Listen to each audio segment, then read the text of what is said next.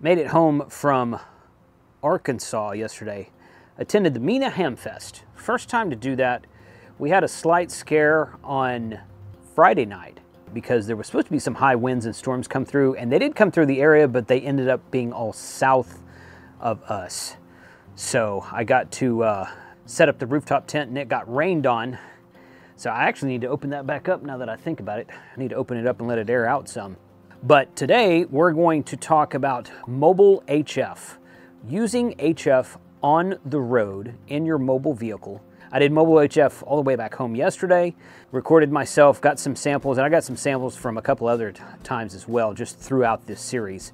So let's, uh, let's take a look at that today and see how fun mobile HF can be while on the road.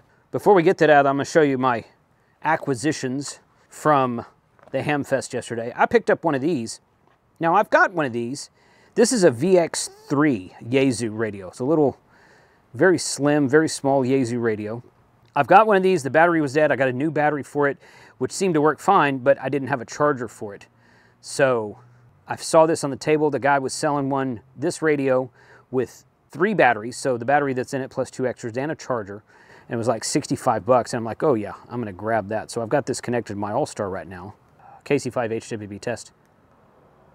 There we go. So now I can carry this around. These things are cool. These older Yaesu radios are pretty sweet. So I picked that up yesterday on the swap market table. And this was brand new. This is a 160 meter antenna by Cable. I'll put I'll find the link to this and put this in the description below. Cablehelp.com, something like that. This, what you do is you hang this from a pole, a mast. He says put it 50 feet in the air if you can. He goes anything over 30 is fine, but if you can get it up to 50, it'd be better. This is the 160 meter version. And then you run this down as a sloper down to the ground. It's about 65, 66 feet, he said, so it's about the same length as a 40 meter end-fed half wave, but this will do 160 meters. So I'm very much looking forward to trying some FT8 on 160 meters. Been wanting to do that for a while, so that might be a, an excellent option for that. But for today's video, like I said, we're gonna do some mobile HF, but, but, first, I'm gonna do a walk around through my truck. Now, some of you guys said that I should do a video about my truck install. Well, guess what? I did that two years ago. And I will link that video somewhere in here, probably up, uh, no, up here somewhere. It'll link up here somewhere. I'll link it in the, in the description below as well. Pretty much everything is the same, but I have changed a few things. So uh, let's take a look through the truck and I'm gonna show you what I have installed, where it's installed, what I'm running, what my plans are, and then we're gonna do some mobile HF for 30 days of ham radio. I've got, this is a temporary setup. This is a Meshtastic node that I've got running to an external antenna. I wanna replace this with the Spec 5, um, I think it's called a Voyager. It's the one with the magnet on it that sticks to the outside of the car. and has an antenna connected directly to it. I did a short video about that a while back. I want to connect that to, I want to take the magnets off and put some T, uh, track bolts on it and connect it to that roof rack up there, but I haven't got one of those yet. These are my radios as installed behind the back seat in my car. This is the TS480HX, obviously, Kenwood. That's my FTM 500. That's the ID5100 and that's my Wouxun KG1000G GMRS radio.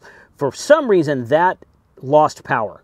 I can't figure out if uh, if the power's bad or the radio's bad or the, the it's not the rig runner, I already checked that. But I got to figure out something about the GMRS radio which I'm without right now. And I, I got to figure it out this week and I'll let you guys in on that a little bit later.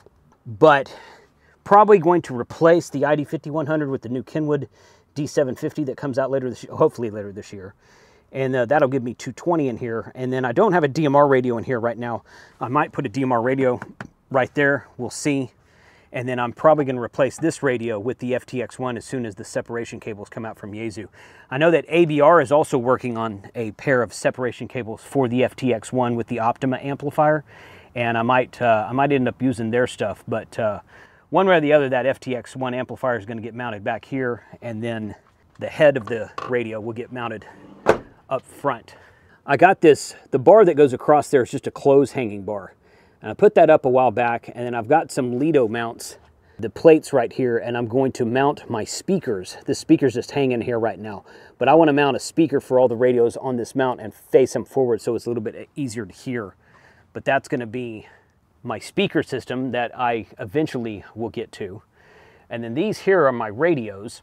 Let's turn everything on just so you can see what it looks like here. Phone mount here from Bullet Point Mounts. Really great uh, mounting solution for phones and tablets.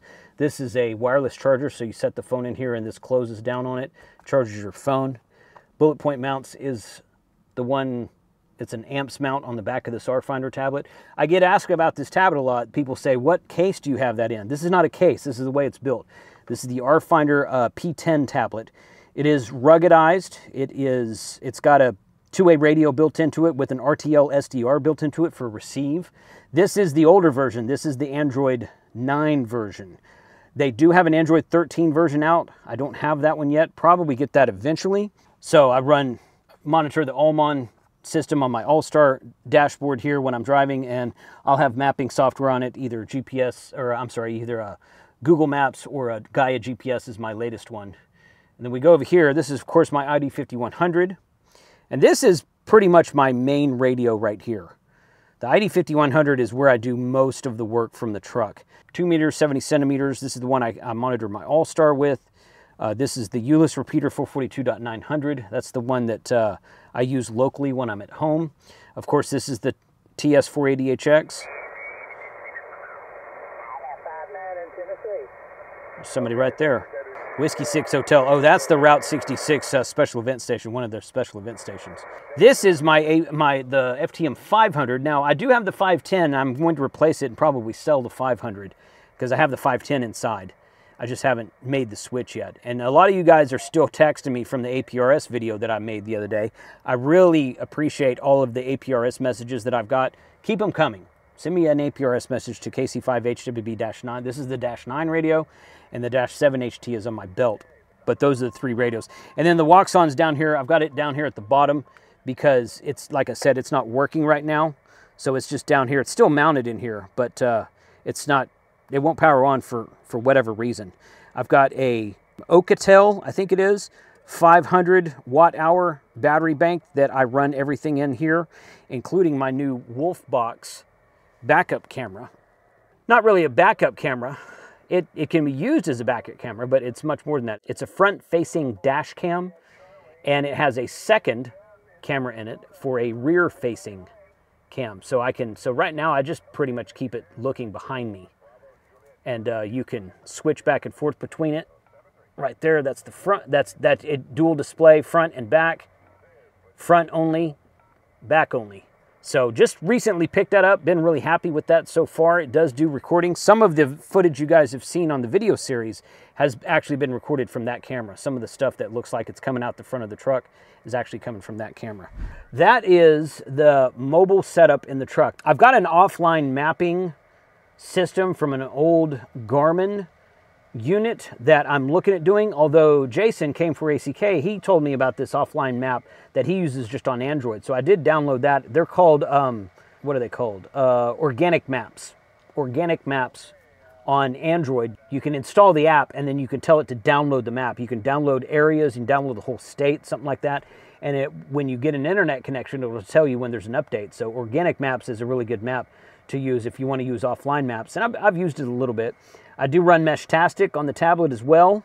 Um, I want to get a better Meshtastic node for up top, and I have a mount for the roof rack for my Starlink mini dish. And as soon as I actually get around to, to installing that, I tried to install it one time and I had some trouble with one of the mounting screws. It wouldn't, um, I can't remember right now, it wouldn't, wouldn't line up correctly or something.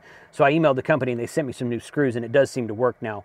But, uh, but I want to mount that up there, and then I run want to run my All-Star. My All-Star node is behind the seat there. I don't know if you guys saw that or not. Let me see if I can find that real quick.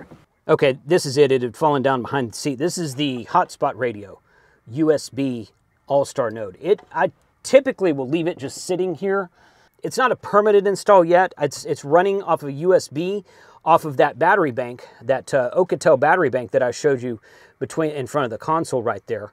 But eventually I want to get a buck connector for it and let it run off of the rig runner. But that's the All-Star system that I'm running in the truck right now.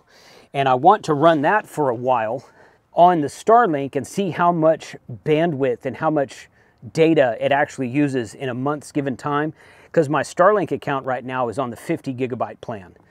And I want to know if I run All-Star and my mapping software, a few other things in the truck here, such as the tablet and whatnot, and when I'm on a road trip, I want to know how long that 50 gigabytes will last me. I chewed up the 50 gigabytes on the trip from Galveston to Arkansas by uploading videos for this series. So I gotta, if I can refrain from doing that, I think it'll run everything else uh, that I have just fine. 50 gigabytes a month should be plenty, but that'll be a neat test for another day in another video. So that's the current setup. I do have a few upgrades I'm wanting to make. I'm wanting to get some new wiring to the battery box in the back. I've got a whole video about the battery box in the back. I want to wire up the, um, the Oukitel power bank there to the battery box in the back so that everything runs from the secondary battery.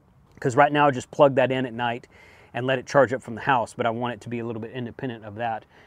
And then uh, I've got a couple other things I'm going to add, including a scanner and whatnot and stuff like that. So more to come on that later. Thank you for the comments about the truck. Let's do some uh, mobile HF on the road. Little Jason's trying to work Sierra 5-1 Delta X-Ray. Jana's in Slovenia. You pushing all 200 watts? About 150. 150. Kilo Charlie 5, Hotel Whiskey Bravo, Mobile. Nope. Swing and a miss. Swing and a miss.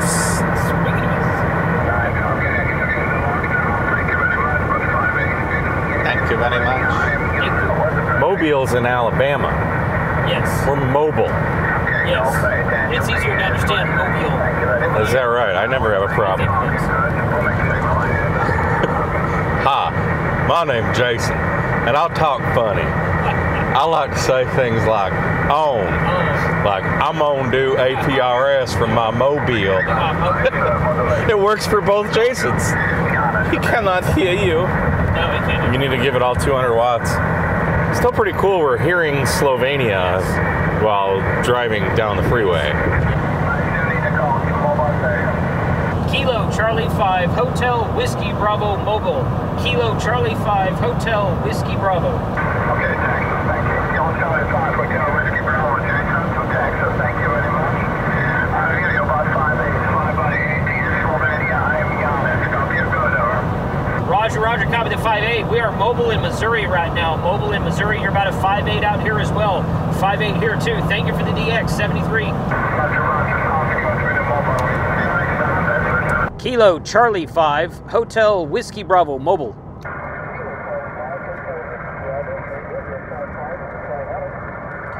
Okay, copy Colorado. You're about a 5-5 in Oklahoma.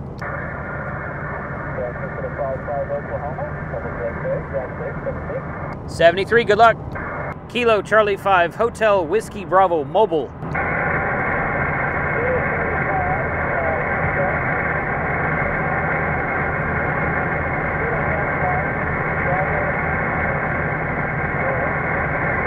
It's uh, Hotel Whiskey Bravo, Honolulu, Washington Bravo.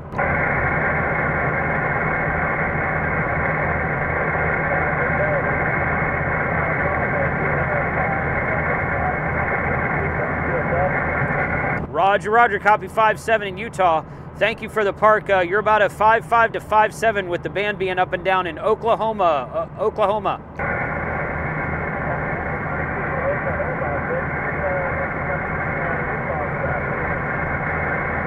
73, thanks for the contact. When you're moving, when you're mobile and you're moving, you know, he might be really loud one minute and then really quiet the next minute. And it could be the band just doing what's called QSB, QS Bravo, which is fading. QSB is fading. So, like when the signal is strong, you hear it real good, and then it just kind of fades on its own. That happens a lot anyway. But when you're moving, you've got even more parameters that can affect the signal. So sometimes it's challenging, but uh, I found it to be fun more often than not. Kilo Charlie 5, Hotel Whiskey Bravo, mobile. Kilo Charlie 5, Hotel Whiskey Bravo. You are uh, 5 5 in Arizona, and Mike Wynn. Okay, Mike, you're about a 5758 in Oklahoma in the mobile station. Uh, the name is Jason, Juliet Alpha Sierra Oscar November. Jason, Oklahoma, QSL? QSL, QSL, what special event is this? This is Route 66 on the air for Whiskey 6 Sierra. Am I on the east of Winona on Old Route 66? Roger, Roger. I was I was thinking that's what you were doing. Just wanted to confirm 73 and thank you for picking me up. Nice. I'm going to try to work that event next week. Kilo Charlie 5, Honolulu, Washington, Bravo, mobile.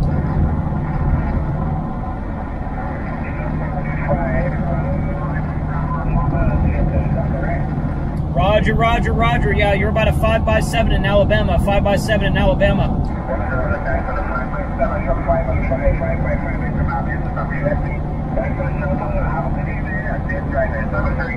Roger, Roger, 7-3. Thanks for the DX. I didn't receive an update of donation numbers from the ARRL today. It is a weekend day, and they took the day off. We'll catch up with them tomorrow. Thanks for watching the series, guys. Please remember that I'm donating a dime for every new subscriber I get, and for every video that reaches 10,000 views, we'll donate $100 per video. 73, see you tomorrow.